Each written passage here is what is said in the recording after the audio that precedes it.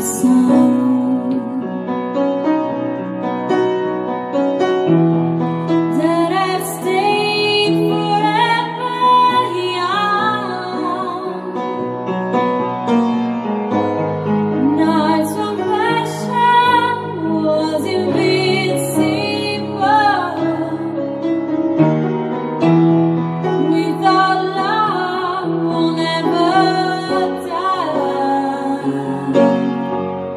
There are moments